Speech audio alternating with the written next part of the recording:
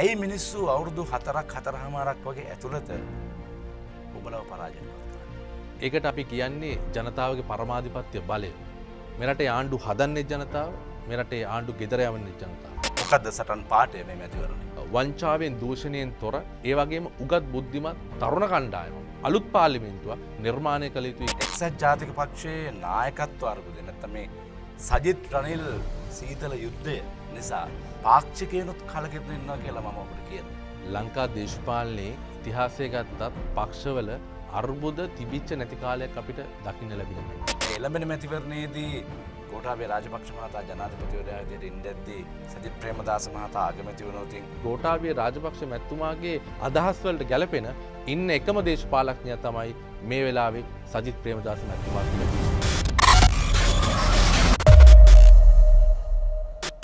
අයිබෝන් හෙඩ්ලයින් නිවස් අද දවසේ අපේ සාකච්ඡාවට සම්බන්ධ වන්නේ ජාතික තරුණ සේවා සභාවේ හිටපු සභාපති. වර්තමානයේ හෝමාගම ආසනයේ එක්ස ජාතික පක්ෂයේ ප්‍රධාන සංවිධායක නීතිඥ එරන්ද බැලියන්ගේ මහතා. අයිබෝන් කියලබතුමා පිළිගන්න. අයිබෝන්. දහනම වෙනි ආණ්ඩු ක්‍රම ව්‍යවස්ථාවට අනුව අපේ කෙලින්ම කතාවට එනවා. ලබන මාසෙ දෙවනි ද විතර වෙනකොට නැත මාර්තු මාසෙ දෙවෙනි ද විතර වෙනකොට ජනාධිපතිවරයාට තියෙන බලය අනුව පාර්ලිමේන්තුව ඕනිනං විසිරවා හරින්නට පුළුවන්. එහෙම විසිරෙව්වොත් කොළඹ දිස්ත්‍රික්කේ නාමයෝජනා රැස්වේ ඔබේ නමත් ඇතුළත් වෙනවා කියලා ආරංචියක් යනවා. මේ කතාව ඇත්තද? ඔව් ඇත්ත ඉදිරි පාර්ලිමේන්තු මැතිවරණයේදීම අනිවාර්යෙන් කොළඹ දිස්ත්‍රික්කෙන් මෙවර තරුණ දේශපාලඥයෙක් හැටියට තරඟ කරනවා. කොහොමද ඔබේ සූදානම? මේ වන විටත් හෝමගම ආසනයේ තනකුත් ආසනවලත් මං ක්‍රියාකාරීව විවිධ කණ්ඩායම් මුණ ගැසිලා ඉදිරි පාර්ලිමේන්තු මැතිවරණය සඳහා සූදානම් වෙමින් තමයි කටයුතු සූදානම් කරගෙන යන්නේ.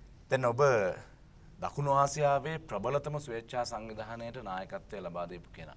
තරුණයෙක් විදිහට නීතිඥයෙක් විදිහට අපි දැක්ක යෝන්පුරේ වගේ දේවල් අවුරුදු ගණනාවක් නතර වෙලා තිබිලා ඒව නැවත සංවිධානය වෙලා තරුණ තරුණිය 5000ක් විතර එක තැනකට ගෙනල්ලා ඒකට නායකත්වය දීලා මේ වටිනා කටයුත්ත කරා. ඉතින් මෙහෙම කරපු කෙනෙකුට ඔබ හිතන්නේ ඔබට කොළඹ දිස්ත්‍රික්කයේ මිනිස්සු ඡන්ද දෙන්න ඕනේ කියලා. මම කිසිදු අවස්ථාවක කොළඹ දිස්ත්‍රික්කයේ ජනතාවට බලපෑම් කරන්නේ මට ඡන්දය ලබා දෙන්න කියලා. ඒ සඳහා මට නීත්‍යානුකූල බලයකුත් නැහැ. හැබැයි කොළඹ දිස්ත්‍රික්කයේ ජනතාව කාට හරි ඡන්දය ලබා දෙන්න ඕනේ. මම හිතන්නේ අද තියෙන වාතාවරණයත් එක්ක අපේ රටේ ජනතාව අතීතය පුරාවට පාර්ලිමේන්තුවපු කණ්ඩෑම සම්බන්ධයෙන් සැකයෙන් බලන්නේ. එකට හේතුව තමයි මේ පවතින දේශපාල ක්‍රමයත් එක මේ සිස්ටම් එකත් එක්ක නිදහසින් පසු පාර්ලිමේන්තුවට ගියපු දේශපාලක්ඥයන්ගේ බහුතරයක් මේ රටට කුමන හෝ හානියක් කරලා තියෙන. ඒ නිසා තමයි ජනතාව තමන්ගේ මනාපයෙන් පාර්ලිමේන්තියවපු කණ්ඩායම යවලා දෙසීසි පහම එපා දෙසීසි පාම හොරු මේ දෙසීසි පහට බෝම්භ ගහන්න ඕන. කොටිමකොත් කොරුණ වෛරසය හරි කමන්නේ මේ දෙසීසි පට හැදෙන්න්න ඕන කියන මානසිකත්වය තමයි ඉන්නේ. එකට හේතුව තමයි මෙච්චරකල් මෙරටේ ජනතාව බැලුවේ පාල්ලිමේන්තුවට යවන පුද්ගලයාගේ ස්භාවය. හැබැයි ජනතාව කවදාවත් ඒ පුද්ගලයා පාල්ලිමේන්තුවට ගිහිල්ල මොකද කරන්න ඕන කියන දේ පිළිබඳ බැලුවේ නැහැ. ඒ නිසා මම හිතන්නේ මේ වන විට මේ රටේ ජනතාව මින් ඉදිරියට පාර්ලිමේන්තු යැවීම සඳහා යම් පුද්ගලයට මනාපයක් භාවිතා කරනවා නම් ඒ භාවිතා කරන්නේ තියෙන විශ්වාසය මත. ඒ නිසා මං විශ්වාස කරනවා මේ රටේ ජනතාව තවදුරටත් ඡන්දයක් දෙනවා නම් දෙන්නේ මේ රටට අවමහානියක් කරන වැඩියෙන් වැඩ කරන පුද්ගලයට. ඒ නිසා මම බලාපොරොත්තු වෙන්නේ ජනතාව සමග විශ්වාසයක් ඇති කරගන්න ඊළඟ පාර්ලිමේන්තු මැතිවරණයේදී තරුණයෙක් හැටියට වැඩියෙන්ම වැඩක් කරන්න හා මේ රටට කිසිදු හානියක් නොකරන චරිතයක් බවට පත් වෙනවා. දැන් ඔබ නියෝජනය කරන්නේ කොළඹ දිස්ත්‍රික්කයේ ඔබ මැතිවරණයට එන්නේ කොළඹ දිස්ත්‍රික්කෙන්. දැන් ඔය කියන කතාව ලංකාවේ පරිපාලන දිස්ත්‍රික්ක 25ටම තේරීපත්තන නම්වෙනි පාර්ලිමේන්තුවට තේරීපත්තන 225ටම වළංගුයි. හැබැයි ඔබේ ප්‍රකාශය ප්‍රබලයි. දැන් ඔබේ පක්ෂයේ නායකතුමා රනිල් වික්‍රමසිංහ මැතිතුමා කොළඹ නියෝජනය කරන්නේ. ඔබේ පක්ෂයේ නියෝජ්‍ය නායකයා හෝ උපනායකයා කොළඹ දිස්ත්‍රික්කයේ නියෝජනය කරන්නේ. දැන් ඔබ කියන්නේ ඔබේ පක්ෂේ නායකයා පිළිබඳවත් කොළඹයට දෙසරයක් හිතා බලන්න ඕන කියලද මේ එළබෙන මැතිවරණයට. මතන ඉදිරි මැතිවරණයේදී මේ රටේ ජනතාව තමන්ගේ ඡන්දය නැවතවතාවක් අලුතින් භාවිතා කරන්න. එනිසා අපි විශ්වාස කරන තරුණ හැටියට අලුත් පාර්ලිමේන්තුවක් නිර්මාණය වී යුතුයි කියලා. එහිදී ඒ ගුණාංග උන්ට තියෙන නිසා තමයි ඔවුන් අපේ පක්ෂ නායකයා හා නියෝජ්‍ය නායකයා බවට පත් වෙලා තියෙන්නේ. ඒ නිසා මම හිතනවා ජනතාව ඒ සම්බන්ධයෙන් සාධාරණයක් සිදු කරයි කියලා. හොඳයි දෙදස් පහළවේ ජනවාරි මාසය අටවෙනිද ඔබ නියෝජනය කරපු කඳවුරට ජනවරමක් ලැබෙන. දෙදස් පහළවේ අගෝස්තු මාසි දාහත්වනිද ඔබේ පක්ෂයට ප්‍රමුඛ පෙරමුණට මේ රටේ ආණ්ඩුව කරවන්නට බලයක් හම්බෙනවා. හැබැයි අවුරුදු හතර හමාරක් ගෙවෙන්ඩත් කලින් යන්තන් හතර හමාට ලංවෙද්දි වගේ. ඉතාමත් ලොක්කු ජනවරමකින් ඔබ පරාජයට පත් කරනවා. ඇයි මිනිස්සු අවුරුදු හතරක් හතර හමාරක් වගේ ඇතුළත ඔබලව පරාජයට පත් කරන්න. දම්මික දෙදස් දහයේ මහින්ද රාජපක්ෂ මහත්‍යව මෙරටේ ජනතාව ජයග්‍රහණය කරන. හැබැයි ඒ ජනතාව තමයි දෙදස් පහලේ මහින්ද රාජපක්ෂ මහත්‍යව මෙරටේ පරාජයට පත් කරන්න. ඒකට අපි කියන්නේ ජනතාවගේ පරමාධිපත්‍ය බලය. මෙරටේ ආණ්ඩු හදන්නේ ජනතාව මෙරටේ ආණ්ඩු ගෙදර යවන්නේ ජනතාව. එනිසා තමයි දෙදස් පහලවේ ජනතාවගේ කැමත්ත මත පොදු අපේක්ෂකයෙක් හැටියට සිරිසේන ජනාධිපතිතුමාව අපි මහින්ද රාජපක්ෂගේ පක්ෂයෙන් ලේකම් හැටියට අපේ පක්ෂයට අරගෙන පොදු අපේක්ෂකය කරලා යහපාලනය මෛත්‍රීපාලනය කියන සංකල්පත් එක්ක මේ රට අපි ඉදිරිපත් කරන්නේ. අපි එක ජයග්‍රහණය කරනවා. අපි ඒකත් එක මේ රටේ ජනතාවට අලුත් බලාපොරොත්තු ලබා දෙනවා. ඒ බලාපොරොත්තු ඉටුවෙනවාද නැද්ද කියලා ඒ අවුරුදු හතර හතරහ මාර කාලය පුරාවට ජනතාව බලාගෙන හිටිය. අපි ආවේ හොරු අල්ලනවා කියලා අවසානය වුණු හොරුට කැල්ල ආණ්ඩු අල්ලගත්තා. ටෙස ආණ්ඩුව හොරු බවට පරිවර්තන වුණ. ඒවගේම ඒ ජනාධිපතිවරණයේදී සිරිසේන ජනාධිපතිතුමා ජනාධිපති කරවන්න වැඩිම දායකත්වයක් දැක්ව එක්සත් ජාතික පක්ෂය. හැබැයි අපේ ගම්වල ඉන්න අපේ ගමේ නායකයෝ අපේ ප්‍රධාන සංවිධායකරු ප්‍රාදේශ සභා මන්තිවරු පළාත් සභා මන්තිවරු මේ කිසිම කෙනෙක් දිහා අපේ පක්ෂය ඇහැක් කරලා බැලුවේ නැහැ.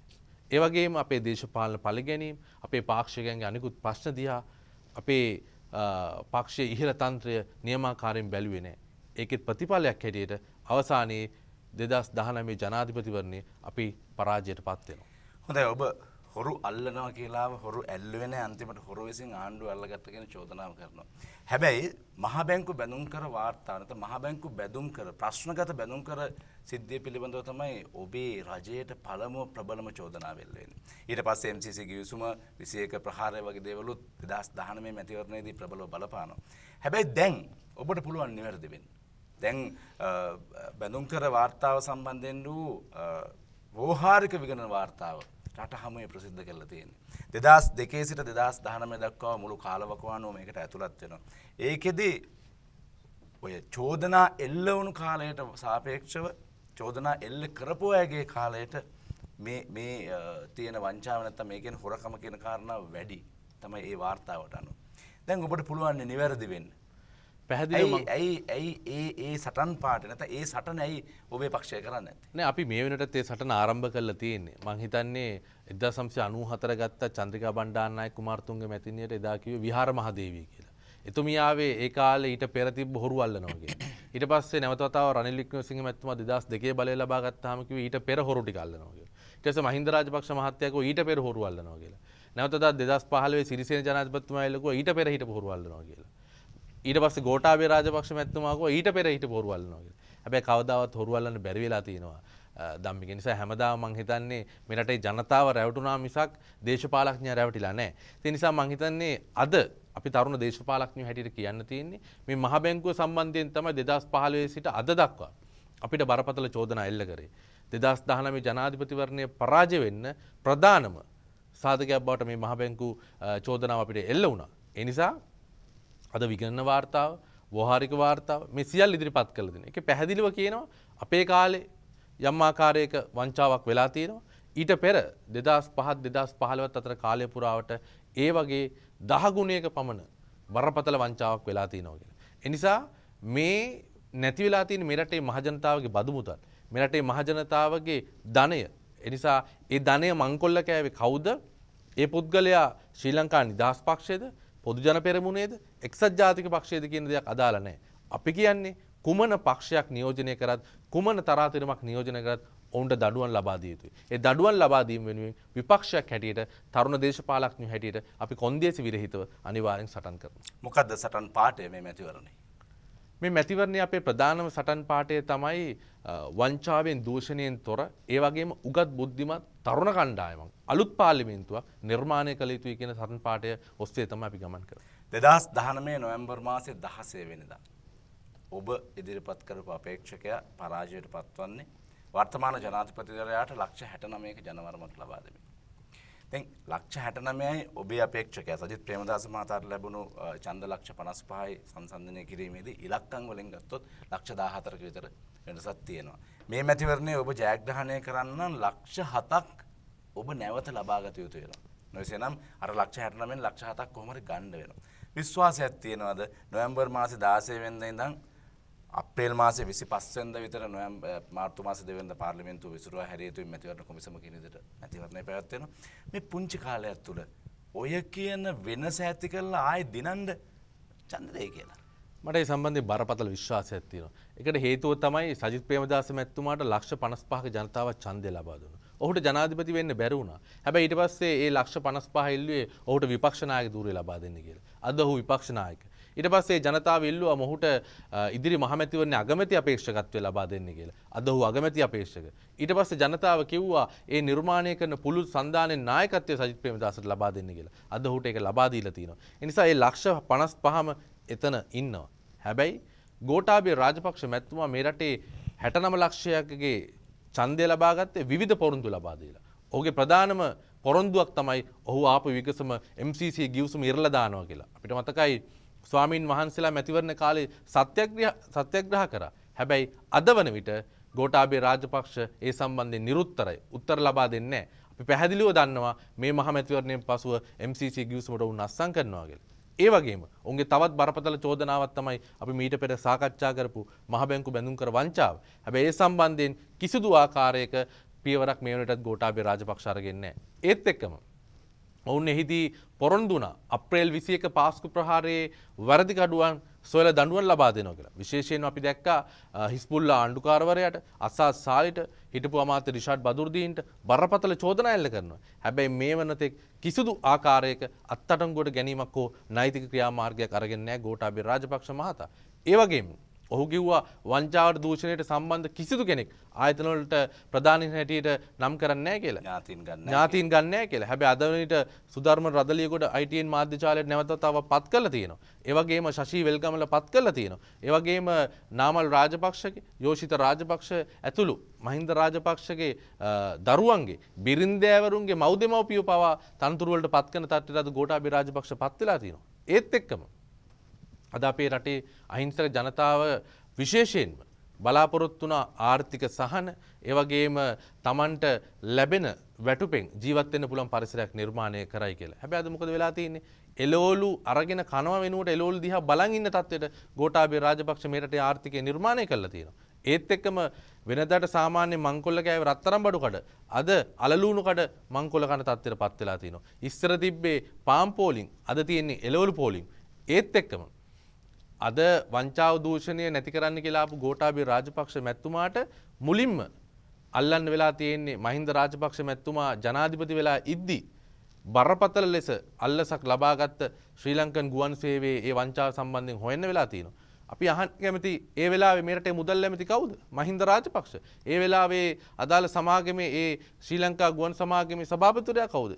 ශිරන්ති රාජපක්ෂ මැතිණියගේ සහෝදරයා. ඉතින් මෙවැනි තත්ත්වයක් උඩ මෙවැනි පරිසරයක් උඩ ගෝඨාභය රාජපක්ෂ මැතිතුමාට ඡන්දය ලබා දුන්න 69 ලක්ෂයෙන් ලක්ෂ 20ක් 25ක් මේ වෙනවිට ගෝඨාභය රාජපක්ෂ ප්‍රමුඛ මහින්ද රාජපක්ෂ ආණ්ඩුව සම්බන්ධයෙන් කලකිරලා තියෙනවා. ඒ නිසා එයින් කොටසක් අපේ පැත්තට ගැනීම අපිට කිසිදු ආකාරයක ගැටලුවක් නෙමෙයි. ඒ නිසා අපේ මැතිවරණ ව්‍යාපාරයත් එක්ක අපේ අලුතින් නිර්මාණය වෙන ශුද්ධ සන්දානයත් එක්ක අපිට අනිවාර්යෙන් ඉදිරි මැතිවරණය ජයග්‍රහණය කරන්න පුළුවන්. හොඳයි කලකිරුණු පිරිසක් ඉන්නේ ගෝඨාභය රාජපක්ෂ මහත්තයාගේ 69 ලක්ෂය ඇතුලේ කියලා කිව්වට එක්සත් ජාතික පක්ෂයේ නායකත්ව අර්බුදය නැත්නම් මේ සජිත් රනිල් සීතල යුද්ධය නිසා පාක්ෂිකයනුත් කලකිරුණු ඉන්නවා කියලා මම ඔබට කියනවා. කියලා නැද්ද ඡන්ද කරගෙන ගෙන්ගෙට යද්දි තරුණයෝ මුණ ගැහෙද්දි වැඩිහිටියෝ මුණ ගැහෙද්දි අපි ඡන්දෙ දෙන්න. කරුණාකරලා මහත්තයෝ නායකත්ව ගැටලුව විසඳගෙන එන්න එහෙම කියලා. ධම්මික ලංකා දේශපාලනයේ ඉතිහාසය ගත්තත් පක්ෂවල අර්බුද තිබිච්ච නැති කාලයක් අපිට දකින්න ලැබිලා නැහැ. නිදහස ලැබුණු එක්සත් ජාතික පක්ෂයේ අපේ ප්‍රධානත්වයෙන් හැබැයි ඊට පස්සේ බණ්ඩාරනායක මහත්තයා පක්ෂ කඩාගෙන ගිහිලා වෙනත් පක්ෂයක් නිර්මාණය කරනවා. ඊට පස්සේ බණ්ඩාරනායක මහත්තයා පක්ෂය කරගෙන යද්දී විවිධ අර්බුද නිර්මාණය වෙනවා. ඊට පස්සේ චන්ද්‍රිකා මෙතනියක කාලේ මහින්ද රාජපක්ෂ මහත්තයා බලහත්කාරයෙන් වගේ තමයි අගමැති අපේක්ෂකත්වය ගන්නෙ. ඊට පස්සේ නැවතවතාවක් අපි රනිලික්ම සිංහ මැත්තුම හා සජිත් ප්‍රේමදාස මැත්තුම අතර යම් අරගලයක් ගිහිල්ලා සජිත් ප්‍රේමදාස මැත්තුමාට ජනාධිපති අපේක්ෂකත්වය ලැබෙනවා. අදත් යම් ආකාරයක මතභේද තියෙන්නේ නැති. හැබැයි අද වන විට සියලු දෙනා ඒකමතිකව තීන්දු තීරණය කරලා තියෙනවා පොදු සන්ධානයක් නිර්මාණය කරන්න. එහි නායකත්වය සජිත් ප්‍රේමදාස මැතිතුමාට ලබා දීලා තියෙනවා. එහි නමක් අද නිර්මාණය කරලා තියෙනවා. ලකුණක් ලබා දීලා තියෙනවා. ඒ නිසා මම හිතන්නේ සියල්ලත් එක්ක කණ්ඩායමක් විදිහට එකතු වෙලා ඉදිරියේදී අපි වැඩ කටයුතු කරන්න තීන්දු තීරණය කරලා තියෙනවා. ඒත් එක්කම අපේ පක්ෂයේ කුඩා කුඩා මත ගැටුම් තියෙනවා. හැබැයි ඊට වැඩිය විශාල අර්බුදයක් මේ වෙන විට ගෝඨාභය රාජපක්ෂ ප්‍රමුඛ ආණ්ඩුවේ නිර්මාණය වෙලා තියෙනවා. ඒ තමයි ගෝටාබිය මහත්‍යාව ජනාධිපති කරන්න එක පැත්තකින් වියත්මක් කියලා කණ්ඩායමක් කටයුතු කරා. අනිත් පැත්තෙන් පොහොට්ටුවේ බැසිල් රාජපක්ෂ කණ්ඩායම කටයුතු කරා. අනිත් පැත්තෙන් සිරිසේන ජනාධිපතිතුමාගේ ශ්‍රී ලංකා නිදහස් පක්ෂ කණ්ඩායම කටයුතු කරා. අද මහින්ද රාජපක්ෂ ගෝටාබේ රාජපක්ෂ මෛත්‍රපාල සිරිසේන කියන තුන් දෙනා අතර තුන්කොන් සටනක් නිර්මාණය වෙලා තියෙනවා. එනිසා මං හිතන්නේ අපේ ගැටලු අපිට ප්‍රජාතන්ත්‍රවාදී විදියට සාකච්ඡා මාර්ගයෙන් විසඳගන්න දැන් පුළුවන් වෙලා තියෙනවා. හැබැයි ඔවුන්ගේ ගැටලු තාම උන්ට විසඳගන්න බැරි වෙලා තියෙනවා. එනිසා අර්බුදය බරපතල ලෙස උඩුදුවල තියෙන්නේ ගෝඨාභය රාජපක්ෂ කඳවුරේ. අපේ කඳවුරේ නෙමෙයි. එනිසා අපි පොදු සන්ධානයකින් සාමකාමීව ප්‍රජාතන්ත්‍රවාදීව මෙරටේ මහජනතාවගේ ඒ මහජන හදවත් දිනාගන්න ඉදිරියේදී කටයුතු කරනවා. ඔබ කියන නමවැනි පාර්ලිමේන්තුව අලුත් පාර්ලිමේන්තුවක් එන්න ඕන. තරුණයන් දක්ෂයන් මෙතෙන්ට එන්න ඕන කියලා. හැබැයි දෙදස් පහළවේ මැතිවරණයේදී එක්සත් ජාතික පක්ෂයේ තරුණ නායකයෝ විශාල ප්‍රමාණයක් බිහි වුණා. ඒ අයට තනතුරු යම් ප්‍රමාණයකුත් ලැබුණා. හැබැයි මේ වෙනකොට ඔය බිහිවුණු ඔය හොඳයි කියලා ගත්ත ජනතාකර්ශණය දෙනාගත්තු පිරිස ජනතාව ඈත් වෙලා වගේ පේනවා. එහෙම නැත්නම් ඒ පිරිස විසින් ජනතාව ඈත් කරලා වගේ පේනවා. ඕක වෙන්න බැරිද? මං හිතන්නේ අපිට පාර්ලිමේන්තුවට යන්න ඡන්දය ලබා දෙන මෙරටේ ජනතාව.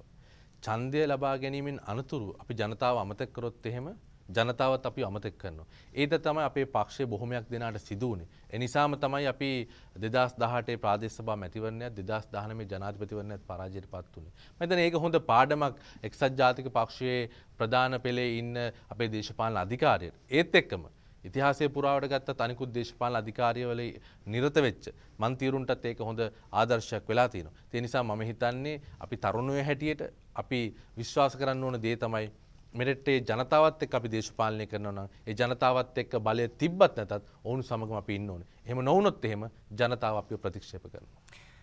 ගෝඨාභය රාජපක්ෂ මහත්තයා තමන්ට මේ රට ඉදිරි අවුරුදු පහක් කරගෙන යන්නට පාර්ලිමේන්තුවේ තුනෙන් දෙකක බහුතරයක් ඉල්ලනවා.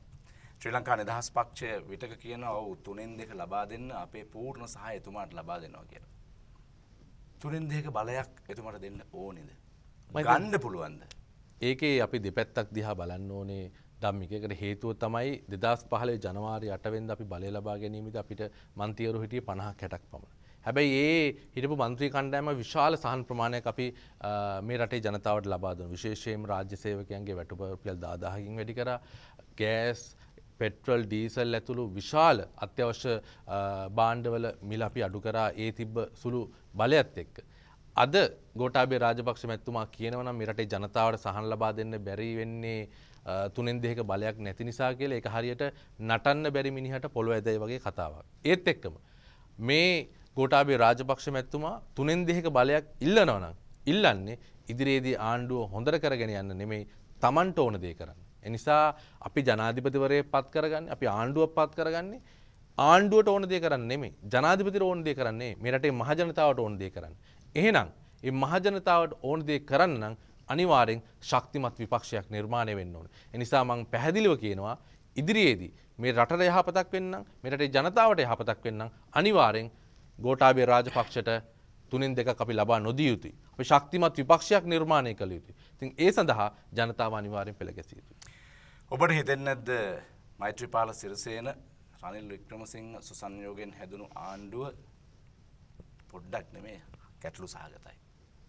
මනා අවබෝධයකින් යුතුව කරා කිව්වට ගැටලු සහගතයි. දැන් එළඹෙන මැතිවරණයේදී ගෝඨාභය රාජපක්ෂ මහතා ජනාධිපතිවරයා විදිහට ඉඳද්දී සජිත් ප්‍රේමදාස මහතා අගමැති වුණොතින් ආයෙ නිකන් අර වගේ එකක් සිද්ධ වෙයි කියලා. නෑ කිසිදු ආකාරයක එවැනි ගැටලුවක් ඇති වෙන්නේ නැහැ. එකට හේතුව තමයි මේ මාස තුන දිහා බැලුවාම ගෝඨාභය රාජපක්ෂ මහත්තයලා අපිට පේන සමහරක් වෙලාවට හොඳ වැඩ කරන්න අ, ඔහුට ඒ යම් ආකාරයක අදහසක් තියෙනවා. හැබැයි මහින්ද රාජපක්ෂ මහත්තයකට ඉඩ දෙන්නේ නැහැ. හොඳම උදාහරණය තමයි ITN මාධ්‍ය ජාලයේ පුද්ගලයෙක්ව පත් කරද්දී ගෝඨාභය රාජපක්ෂ කියන පත් කරන්න එපා කියලා. මහින්ද රාජපක්ෂ එක අනිවාර්ය කරලා පත් කරනවා. ඒ වගේම බොහොමයක් ස්ථානවල ගෝඨාභය රාජපක්ෂ කරන්න හද උත්සාහ කරන දේවල් මහින්ද රාජපක්ෂ අග්‍රාමාත්‍යතුමා විසින් නවත්තලා දානවා. නිසා මං හිතන්නේ ගෝඨාභය රාජපක්ෂ මැතිතුමාගේ අදහස් වලට ගැලපෙන ඉන්න එකම දේශපාලඥයා තමයි මේ වෙලාවේ සජිත් ප්‍රේමදාස මැතිතුමා කියන්නේ. ඒත් එක්කම ලංකා ඉතිහාසයේ පළවෙනි වතාවට තමයි ගෝඨාභය රාජපක්ෂ ජනාධිපති වුණාට පස්සේ පරාජය වෙච්ච අපේක්ෂකයා ගිහිල්ලා ජනාධිපතිවරයාට සුබපතල ඉදිරි වැඩ කටයුතු වලට අනිවාර්යෙන් හොඳ දේවල් වලට සහයෝගය දෙනවා කියලා කිව්වේ. ඒ නිසා තරුණ දේශපාලඥයෙක් හැටියට සජිත් ප්‍රේමදාස මැතිතුමාට අනිවාර්යෙන් ගෝඨාභය රාජපක්ෂ මැතිතුමා සමග එකතු වෙලා මෙරට හදන්න විශාල වැඩ කොටසක් කරන්න පුළුවන් වෙයි කියලා අපි විශ්වාස කරනවා. සජිත්ව අගමැති කරන්නේ මහින්දව අගමැතිපුටුවෙන් ඉවත් කරන්න. මොකදද මහින්ද රාජපක්ෂ වර්තමාන අග්‍රාමාත්‍යවරයට වඩා සජිත් ප්‍රේමදාස මහත්තයා හොඳයි කියන්න ඔබළඟ තියෙන දේවා. මහිතන ඒකට අටුවාටික අවශ්‍ය වෙන්නේ.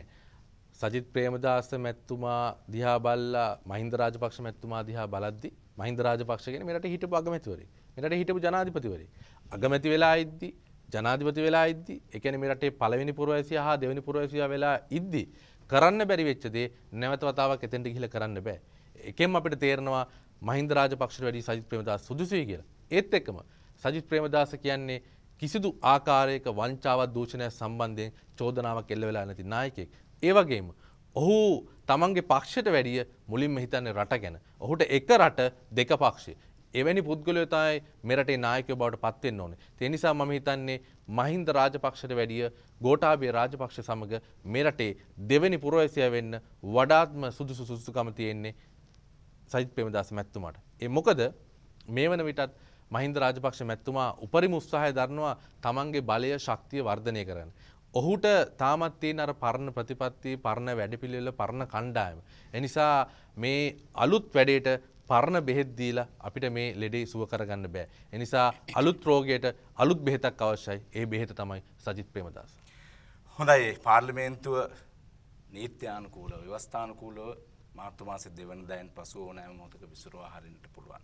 එහෙම විසුරවනවා යැයි යම් යම් මත සහ යම් යම් ඉඟි පලවෙමින් තිබෙනවා. පාර්ලිමේන්තුව මාර්තු මාසයේ විසුරුවා හැරියටින් අප්‍රේල් මාසයේදී මැතිවරණයක් සහ නව රජයක් බිහිවේවි. මේ කාල පරාසය තුළ ඔබ නැවත අපිට මුණ ගැසේවි. ඒ මුණ ගැසෙන විට මේ දේවල් කොයිතරම් දුරට සිදු වුණාද මේවා ඇත්තටම කරන්න පුළුවන් දේවල්ද අවසානයේ ප්‍රතිඵලය කුමක් වේවිද අපි කතා කරමු නැවත දවසක බොහොම ස්තුතියි මේ වෙලාව අපිත් සමග සම්බන්ධ වුණාට. එමනම් හිතවතුනේ එරන්ද වැරියන්ගේ මහතාට සමුදන ගමන් අදට මේ සාකච්ඡාවෙන් හෙඩ්ලයින් නිවුස් තුලින් අපට සමුගෙන යන්නට අවසරයි. ඔබට සුබ දවසක්.